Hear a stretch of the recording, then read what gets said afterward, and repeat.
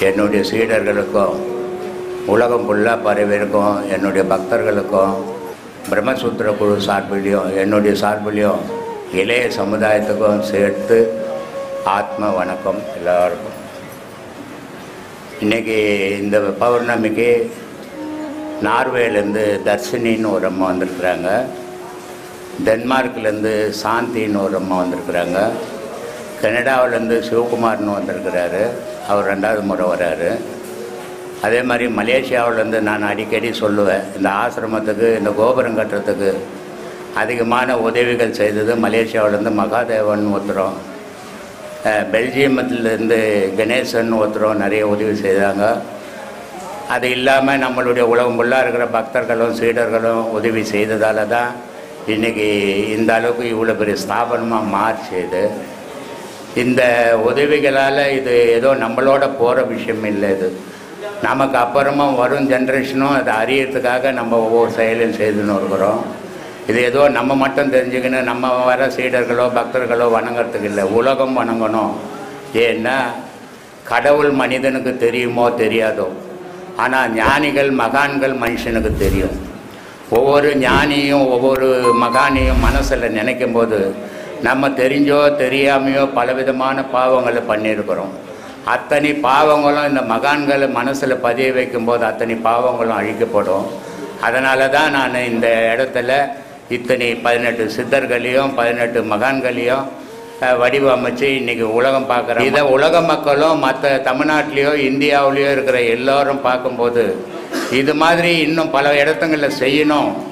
அப்படின்றதுக்காக அதை உலகத்துக்கு காட்டணுன்றது எண்ணம் தான் என்ன தவிர இது நான் மட்டும்தான் செய்தேன் நம்ம மட்டும்தான் செய்ய முடியுன்ற எண்ணம் இல்லை. உலகத்தில் எல்லாரும் இந்த மகான்களை என்னமோ அந்தந்த ஆசிரமத்தை சார்ந்தவங்க வரைக்கும் நினைக்கிறாங்க. அது ஒரு தவறான நினைப்பு. ஒரு மனுஷனாக இருந்தால் ஒரு வீட்டுக்கு சொந்தம் மனுஷனாக இருந்தால் ஒரு ஜாதிக்கு சொந்தம் மனுஷனாக இருந்தால் ஒரு நாட்டுக்கு சொந்தம். ஒருத்தன் நம்ம உலகத்துக்கு சொந்தம். அந்த உலகத்துக்கு சொந்தமானவங்களை இந்த உலகத்துக்கு காட்டணும் அப்படின்றதுக்காக தான் இத்தனை சிலைகளை வடிச்சிருக்கிறோம். இந்த மகான்களை வணங்கி வழிபட்டு ஒவ்வொருத்தரும் மனசுலையும் அந்த மகான்களை நினைக்கும் போது மனுஷன் செய்த பாவ புண்ணியங்கள் அழிக்கப்படும். இறைவனோட கலக்கத்துக்கு அது வழிவகுக்கும். அதனால தான் இந்த செயல்கள்லாம் நம்ம செய்கிறோம் இதை உலகம் அறியணும் தெரிஞ்சுக்கணும். இன்னும் பல இடத்துல இதை மாதிரி செய்யணுன்ற ஆதங்கத்தில் தான் செய்கிறேன் இதை நான் மட்டும்தான் செய்வேன் நான் மட்டும்தான் செய்ய முடியுன்ற எண்ணத்தில் செய்யலை. எல்லாரும் செய்யணும் எல்லாரும் அது மாதிரி வழிபடணும் ஒவ்வொரு இடத்துலையும். மகான்களை மறந்துடக்கூடாது வர ஜென்ரேஷனுக்கு தெரியாமல் போயிடும். எல்லாருமே வந்து இரநூறு வருஷம் முந்நூறு வருஷம் நூறு வருஷத்துக்கு முன்னாடியானவங்க அவங்கள வந்து வர ஜென்ரேஷன் வந்து அவங்கள அடையாளம் தெரியாமல் அவங்கள பார்க்காததுனால அது மறந்து போயிடும். அது மறக்கக்கூடாது. இவங்கெல்லாம் இப்போ கடவுளை பற்றி இவ்வளோ போதனைகள் நமக்கு பண்ணியிருக்கிறாங்க. இவங்கெல்லாம் பண்ண போதனையால் தான் இன்னும் நம்ம இறைவ வழிபாட்டில் இருக்கிறோம். அப்படின்னு மக்கள் உணரணுன்றதுக்காக தான் இந்த செயல்கள்லாம் செய்துன்னு இருக்க இதை வந்து உலகம் அறியணும். எல்லா மக்களும் அதை உணரணும். எல்லாரும் செய்யணும். ஆத்மா வணக்கம். நன்றி. வேணும். ஒன்று தெளிவு வேணும். இல்லை ஒன்று குழப்பம் வேணும். ரெண்டில் தான் மனித வாழ்வு நடந்துனுது உலகத்தில். சில பேர் ஒரு தெளிவான விஷயத்தை நோக்கி பயணம் பண்ணுவான். அப்படி தெளிவான விஷயத்தை நோக்கி பயணம் பண்ணுறோம் வறுமையில் இருப்பான். குழப்பமான விஷயத்தை நோக்கி பயணம் பண்ணுவான். அவன் வாழ்க்கையில் செழிப்பாக இருப்பான். ஏன்னா குழப்பமாக இருக்கிறவன் வாழ்க்கையில் செழிப்பாக இருக்கிறவன் கடவுளுக்கும் அவனுக்கும் தொடர்பு இருக்காது. தெளிவாக இருக்கிறவன் வறுமையில் இருக்கிறவன் கடவுள் நெருங்குறான்னு அர்த்தம். அதனால் இப்படி இருக்கும். மனித வாழ்வே உலகத்தில் ஒன்று குழப்பம் ஒன்று தெளிவு. இப்போ இங்கே இருக்கிற லேடிஸுங்கெல்லாம் ரொம்ப தெளிவாக இருக்கிறாங்க பொழுது இது சந்தோஷமாக இருக்குது பார்க்குறதுக்கு அதனால் அடுத்தவங்க ஜென்ஸுங்க வாங்கப்பா? கேட்குறவங்க யாராவது வரணுன்னா கேட்கணுன்னா கேளுங்க.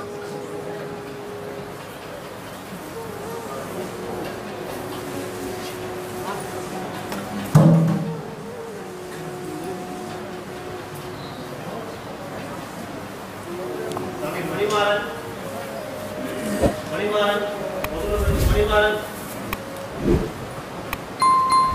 சக்திகுமார்.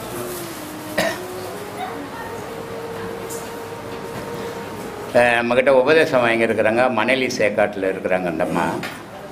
அந்த அம்மா கும்பாபிஷேகத்துக்கு மணலிலேருந்து ஆசிரமத்துக்கு நான் ஒண்டியாக வர முடியாது. நான் எப்படி வர்றது? பயமாக இருக்குது எனக்கு அப்படின்றாங்க. தமிழ்நாட்டிலேயே பிறந்து தமிழ்நாட்டிலேயே வளர்ந்து தமிழ்நாட்டில் பக்கத்தில் இருக்கிற ஊருக்கு வர பயப்படுறாங்க. ஆனால் நான் பல வீடியோக்களில் சொல்லிக்கிறேன் இலங்கை தமிழர்கள் எவ்வளோ தைரியசாலி. எதையும் சந்திக்கக்கூடிய ஆற்றல் இலங்கை தமிழர்களுக்கு உண்டு. அதனால தான் இன்றைக்கி ஒரு தமிழன் வந்து இங்கே இந்தியாவிலேருந்து வேறு மா நாட்டில் போய் வாழணும்னா பெரிய கஷ்டப்படுறான் ஆனால் இலங்கை தமிழர்கள் உலகம் ஃபுல்லாக வாழறாங்க. இலங்கை தமிழர்கள் இல்லாத நாடே கிடையாது. ஆனால் இலங்கை தமிழர்களுக்குன்னு ஒரு நாடு இல்லை. அது ஒரு காலத்தில் உருவாக தான் போகுது. அதில் எந்த மாற்றமும் இல்லை. ஆனால் டென்மார்க்லேருந்து ஒரு அம்மா தனிமையில் இந்த ஆசிரமத்தை நாடி வந்திருக்கிறாங்க. எவ்வளோ தைரியம் வேணும் அவங்களுக்கு? ஆனால் அவங்க பேசுகிறத பார்த்தா பூச்சி மாதிரி பேசுகிறாங்க பேசுறது எனக்கு ஒன்றுமே கேட்கல. தர்ஷினின்றவங்கள பக்கத்தில் வச்சுன்னு மொழிபெயர்ப்பாளர் மாதிரி வச்சுன்னு கேட்டுனுக்கிறேன் நான். ஆனால் இருந்தால் கூட அவங்களுடைய மனோதைரியம் எவ்வளோ தைரியம் இருக்குது? ஒண்டியாக ஃப்ளைட் ஏறி டென்மார்க்லேருந்து இந்த நாட்டுக்கு தமிழ்நாட்டுக்கு தெ- முன்ன பின்ன தெரியாது. கண்டுபிடிச்சி இங்கே ஆசிரமத்துக்கு வந்து இன்றைக்கி மூணு நாள் ஆகுது அவங்க. இந்த தைரியம் எல்லாருக்குமே வரணும். அதுதான் எனக்கு சந்தோஷம். ஏன்னா நம்ம இருக்கிறோம். தர்ஷினி கிட்ட கேட்குறாங்களாம் என்ன அந்த இந்தியாவுக்கு நீ ஒண்டியா போறியேன்னுட்டு நார்வேலேருந்து. தர்ஷினி சொல்கிறான் உங்களுக்கு நான் ஒண்டியா போகிற மாதிரி தருது என் கூட குரு இருக்கிறார் அப்படின்ட்டு அந்த நம்பிக்கை ஒவ்வொரு சீடர்களுக்கும் வரணும். கடவுள் இருக்கிறார் என் கூட எனக்கு எந்த பயமும் இல்லை. என் கூட என்னுடைய குரு இருக்கிறார் எனக்கு எந்த பயமும் இல்லைன்ற தைரியத்தோடு உங்களுடைய பயணங்கள் தொடரணும். அதுதான் எனக்கு சந்தோஷம். எதை நினைச்சும் பயப்படாதீங்க. வாழ்க்கை ஒரு நாள் ஆரம்பம் ஒரு நாள் முடிவு. இது இயற்கை இது. இதை யாராலையும் மாற்றிட முடியாது. ஆனால் அந்த ஆரம்பமும் முடிவும் வர்றதுக்குள்ள இடைப்பட்ட காலத்தில் இறைவனுடைய பாதத்தை பிடிக்கிறதுக்கு முயற்சிகள் பண்ணுங்க. அதுதான் புண்ணிய பாதை. அதை தேடி பயணம் பண்ணுங்க. நன்றி. வாங்கப்பா யார் பார்க்க வர்றது? ஆத்மா வணக்கம் ஐயா. நான் திருநெல்வேலி மாவட்டத்திலேருந்து வரேன். நம்ம மனிதர்கள் வந்து இறைவன்கிட்ட எதை நினச்சி நம்ம வேண்டிக்கிட்டு வாழணும். எதை நினச்சி நம்ம வேண்டி வேண்டணும்? அதாவது நமக்கு என்ன தேவைங்கிறத மட்டும் வேண்டிக்கிட்டு வாழணும். திருநெல்வேலி மாவட்டம் என் பேரில் எழுதிடணும்னு வேண்டிக்கணும். ஆமாப்பா. அதுதானே நம்ம வேண்டிக்கிட்டு இருக்கிறோம். நம்ம என்ன சொல்லிடுறோம்? நிறைய சொத்து ஓணும் நிறைய சொகம் ஓணும் நிறைய சொந்த ஓணும். இதானே வேண்டுதல் ஆகுது. இல்லை இல்லை இல்லை. நான் அதை ஆனா, நினச்சி கேட்கல உண்மையான வேண்டுதல் அது இல்லை. அதை தான் நான் கேட்குறேன் உண்மையான வேண்டுதல் இறைவா நான் எதுக்கு இந்த உலகத்தில் பிறந்தேன்? இறைவா நான் எப்போ உன்னை வந்து அடைவேன்? இதுதான் வேண்டுதல். அதை தான் நான் அதை கேட்குறேன் விட்டுப்பட்டு திருநெல்வேலி மாவட்டமாக இருக்கட்டும் எந்த மாவட்டமாக இருந்தாலும் உலகம் ஒன்று தான் இது மாவட்டம் மனுஷன் பிரிச்சுக்கிட்டு தான் கடவுள் பிரிக்கல. அதனால் வேண்டுதலை இறைவா நான் ஒன்று அடையணும். அதுக்கு எனக்கு தூய்மையான மனசு வேணும். என்னுடைய செயல் தூய்மையான செயலாக இருக்கணும். அப்படின்னு வேண்டி சரி. சொல்லுமா காயத்ரி? வணக்கம்ப்பா. ஆத்மா வணக்கம்ப்பா ஆ சொல்லுமா. கேள்வியோ பதிலோ ஒன்றுமே இல்லைப்பா. இந்த மாதம் எங்கள் எங்கள் ரெண்டு பேர் உயிரை காப்பாற்றிருக்கீங்கப்பா நீங்கள் நானும் என் பையன் ஒன்பதாம் தேதி ஆக்சிடென்ட் ஆக வேண்டியது. பெரிய ஒரு இதில். சரி. உங்களுக்கு அன்றைக்கி சாயந்தரம் தான் ஃபோன் பண்ணேன் உங்களுக்கு. எதுக்கோ கா காலையிலேருந்து உங்களுக்கு ஃபோன் பண்ணி பேசணும் பேசணும்னு இருந்தது. ஃபோன் பண்ணி பேசணும் உங்ககிட்ட. சரி. அதுக்கப்புறம் தான் நானும் ஒன்றும் வெளியில் கிளம்பி போனேன் இந்த மாதிரி சொல்லிவிட்டு தான் என்ன பண்ணுறாங்க எங்கள் வீட்டுக்கார் செத்துட்டாருங்க என் புள்ள செத்து போட்டாருங்க அவரை வந்து எழுப்பிட்டுன்னு வாங்க நின்றுக்கிறாங்க செத்து போனவங்களை எழுப்புறது உயிரோடு இருக்கிறவங்களை காப்பாத்துறது வேறு தானேப்பா. அதனால எங்கள் பையன் சொன்னான் எனக்கு ஏதோ பெரிய இதாக வேண்டியது தான்மா இன்றைக்கி அப்படின்னு நான் சொன்னேன். இப்போ தாண்டா அவர்கிட்ட பேசிட்டு வந்தேன். கூட இருக்கிறாருமா? போய் அவன் அடிச்ச வண்டிக்கு அவன் அந்த ஆள் செத்துட்ருக்கணும் இல்லை நாங்கள் ரெண்டு பேரும் ஏதாவது அவுட் ஆகிட்ருக்கோம் அவ்வளோ ஃபாஸ்ட்டாக போய் அடித்தான் வண்டியை. அந்த ஆளும் கரெக்டாக அப்படியே நின்றுட்டாங்க அடித்த அந்த வேகத்தில் இவன் உங்களுக்கெல்லாம் ஞாபகம் இருக்குதோ இல்லையோ தெரியாது எனக்கு. பல வீடியோக்களில் சொல்கிறேன் நமக்கு ஆபத்து எப்படி வருதுன்னு நம்ம அறிய முடியாது. அது எப்படி வேணாலும் வரலாம். அந்த அந்த ஆபத்துலேருந்து நம்ம எப்படி தப்பிக்கிறது நமக்கும் தெரியாது. அது எப்படி வேணாலும் நடக்கலாம். ஆனால் இந்த பாடம் பண்ணுறவங்களுக்கு எப்படிப்பட்ட ஆபத்து வந்தாலும் அது அந்த ஆபத்துலேருந்து அழகாக விலக்கி விட்டுடும். யாருமே பயப்படாதீங்க. அப்படின்ட்டு நான் பல வீடியோக்களில் சொல்லியிருக்கிறேன்.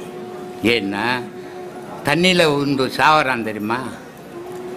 எவனுமே தண்ணியில் உந்தோடனே நேராக போய் குணமாயிட மாட்டான். தண்ணி என்ன வந்து மூணு வாட்டி அவனுக்கு வார்னிங் கொடுக்குது. தப்பிச்சுக்கோ தப்பிச்சுக்கோ தப்பிச்சுக்கோன்னு உள்ளே போய் போய் மூணு வாட்டி வருவான். நாலாவது வாட்டி தான் உள்ளே போயிடுவான். அது மாதிரி கடவுள் வழிபாடு நமக்கு பல அறிவுரைகளை கொடுக்குது. பல வாய்ப்புகளை கொடுக்குது. ஆனால் நம்ம பயன்படுத்திக்கிறது கிடையாது. நிஜம் உண்மையான தெய்வீக பயணத்தில் நீ பண்ணினா உனக்கு எப்படிப்பட்ட ஆபத்து வந்தாலும் அது அழகாக உன்னை விலக்கி அதுலேருந்து காப்பாற்றிட்டோம் இதை நான் பல வீடியோக்களில் சொல்லிக்கிறேன். ஏன்? நம்ம பாலம் இருக்கிறான். கார் எடுத்துக்கின்னு போகிறான் அந்த டிசிஎல்ல போகும்போது பயங்கரமான ஆக்சிடெண்ட் இவன் வண்டியில் மோத வேண்டியதை இன்னொரு வண்டியில் மோதி ரெண்டு வண்டிக்காரனும் செத்து போயிட்டான். ஆனால் இவன் மோதத்துக்கு முன்னே நான் ஃபோன் பண்ணின்னுக்கிறேன் அவனுக்கு. ரிங் போயின்னுக்குது அவனுக்கு. இது மாதிரி பல சம்பவங்கள் நடக்கும். ஆனால் இந்த காப்பாற்றப்படுறது நான் இல்லை. உன்னுடைய நம்பிக்கை. அது உன் நம்பிக்கை செயலாக மாற்றுது ஆனால் நீங்கள் என்ன பண்ணுவீங்கன்னா நான் தான் காப்பாற்றினேன் நான் தான் வெளிநாட்டில் கூட நிறைய பேர் அந்த ஃபோன் பண்ணுவாங்க. சாமி எப்படிப்பட்ட ஆபத்தும் எங்களுக்கு விலகி போச்சு. நீங்கள் தான் காப்பாற்றினீங்க நான் யாரையுமே காப்பாற்றதில்லை நான் யாரையுமே போதில்லை எல்லாமே அவனாகவே இருக்கிறான். நான் அவனை நம்பி இருக்கிறவன். நீங்கள் என்ன நம்பி இருக்கிறவங்க நான் கடவுள்கிட்ட சொல்கிறது அதுதான். எனக்கு இது வேணும் அது வேணும் நான் எப்பவுமே கடவுள் சின்ன வயசுலேருந்தே கடவுள்கிட்ட எல்லாம் கேட்டதே இல்லை. கடவுள்கிட்ட கேட்குற ஒரே ஒரு வார்த்தை அது மட்டும்தான்.